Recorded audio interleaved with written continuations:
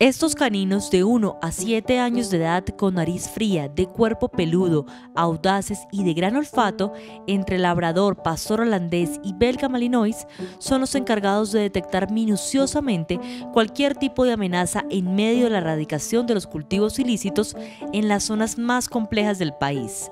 Desde su primer año hasta que cumplen siete, se preparan durante cuatro meses junto a guías de la policía del CENOP.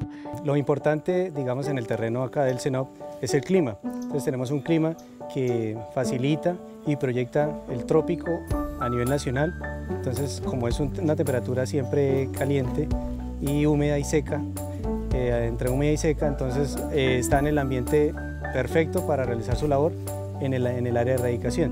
Pero la historia ha sido diferente para otros, que se han convertido en salvavidas, como es el caso de Tami, una perrita de cuatro años que en medio de una actividad de erradicación logró evitar que su guía muriera al estallar tres minas antipersona. Así lo relata el patrullero Neider Parra al recordar ese 26 de febrero de 2019. Nos encontrábamos en Tumaco, Nariño, eh, realizando erradicación de cultivos ilícitos me desempeñaba como guía canino y pues lamentablemente el 26 de febrero caímos en un campo minado y perdí mis extremidades inferiores. En este momento, la Dirección de Antinarcóticos cuenta con más de 200 caninos que están en entrenamiento constante. Este año, 80 de ellos han sido enviados a diferentes zonas del país, donde según el capitán Carlos Gómez, jefe de caninos antinarcóticos de la policía, se han presentado la mayoría de denuncias por la siembra de estos cultivos.